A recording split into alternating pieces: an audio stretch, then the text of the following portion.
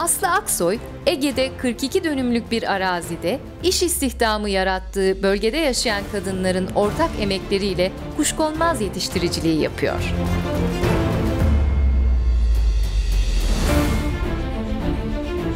Bahar Alan, Ayvalık'ta küçük bir zeytin bahçesi alarak başlattığı girişimi Nova Vera'yı bugün zeytin ve zeytinyağı üreten ödüllü bir firmaya dönüştürdü.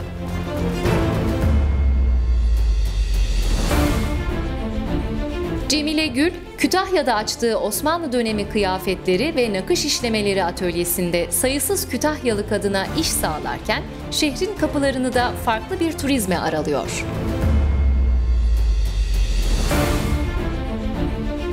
Nazlı Uyanık Yıldız, yerel üreticiler tarafından geleneksel yaylacılık yöntemleriyle yetiştirilen hayvanlardan elde edilen doğal ve sağlıklı kırmızı eti İstanbul'da tüketiciyle buluşturuyor.